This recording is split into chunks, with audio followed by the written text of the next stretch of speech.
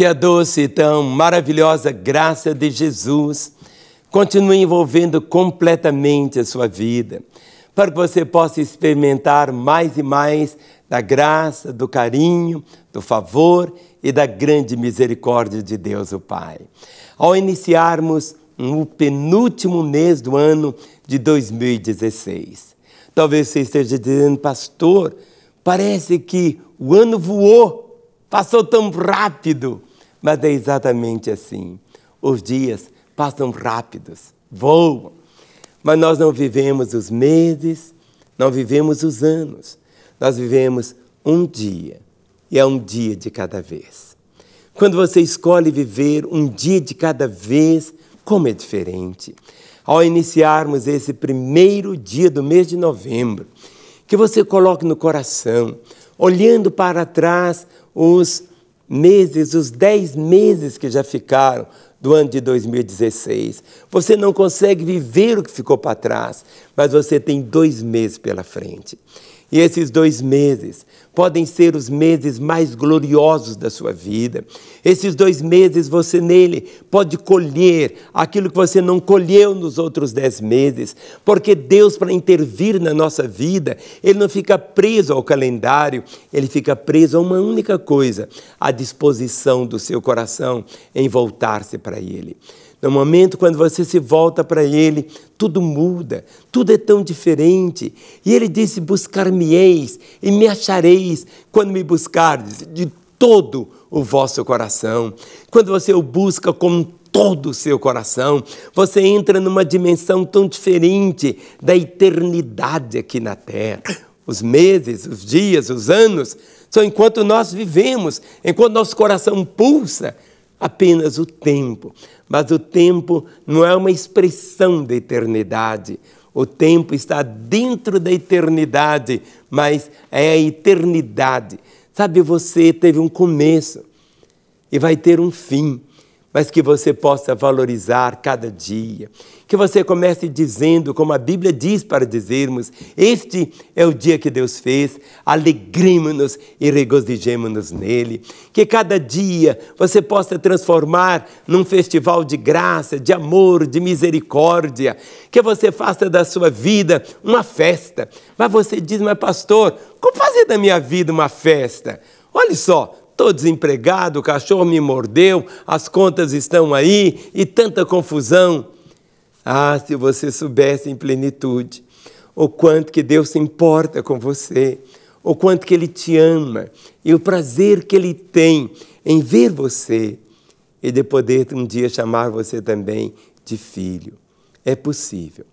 Minha Bíblia está aberta em Romanos capítulo 15 e eu vou ler o verso 4 e o verso 5 esses dois versículos se acompanharem você, não apenas hoje, não apenas agora, em novembro e dezembro, mas durante o resto dos anos da sua vida, você vai viver o que você nunca viveu até hoje.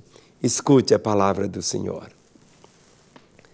Pois tudo quanto outrora foi escrito, para o nosso ensino foi escrito, a fim de que, pela paciência e pela consolação das Escrituras tenhamos esperança.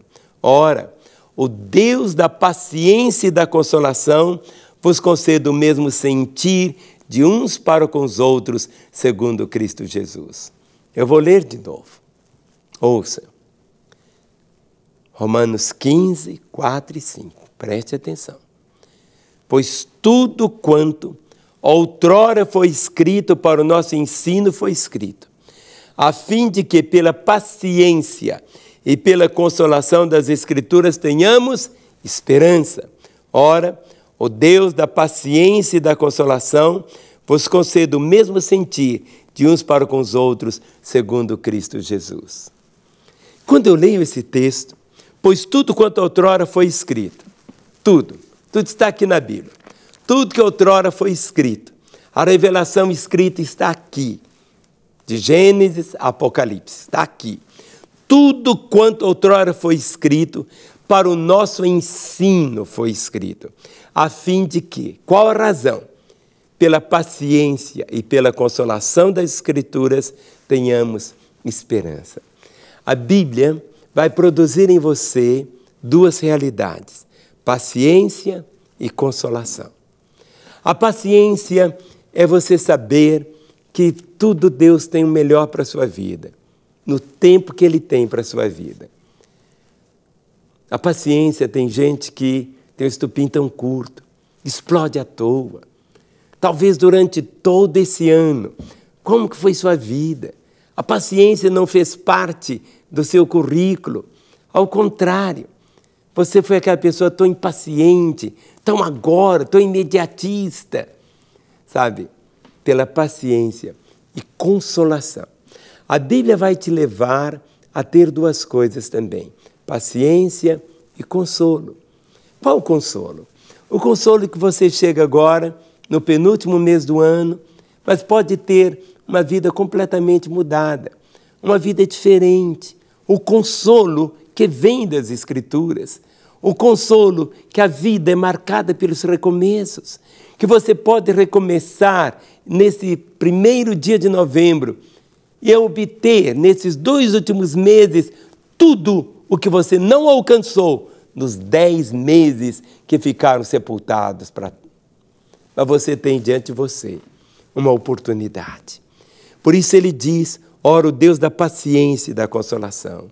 Deus é o Deus da paciência e da consolação. Deus não perde a paciência. Você já chutou o balde quantas vezes? Você já blasfemou contra Ele? Por que, que Ele tem tido paciência com você até hoje? Porque Ele te ama porque Ele quer que você se volte para Ele, Ele quer que você tenha esse retorno, Ele quer que você se entregue a Ele, Ele quer que você se renda a Ele, Ele quer que você volte novamente para Ele, inteiramente para Ele. É isso que Ele quer. E diz: ora, o Deus da paciência e da consolação. Ele quer trazer consolo. As feridas que estão expostas em você, que tantas pessoas que te machucaram, te pisaram, durante esses dez meses. Comece algo diferente hoje. Escolha perdoar aqueles que te machucaram. Escolha abençoar aqueles que te amaldiçoaram. Escolha estender as mãos para aquele que ocultou as mãos. Nossa vida é marcada pelos recomeços, por isso que hoje é o dia primeiro para ter um recomeço. Escolha Escolha Deus, escolha a palavra dele, escolha voltar-se para ele. Escolha. E nós queremos te ajudar nessa volta, para que esse mês, esses dois meses, venham valer mais do que os dez que ficaram para trás. Ligue para nós. 3429 9550. Às 24 horas, qualquer dia, qualquer horário nós queremos ouvir você e vamos orar por você. E amanhã, se o Senhor permitir, nesse horário, eu quero voltar para continuar a profetizar vida para a sua vida. Até lá, em nome de Jesus. Amém. Para receber todas as novidades do canal, inscreva-se e se curtir o vídeo, clique em gostei. Aproveite para acompanhar a Rede Super nas redes sociais.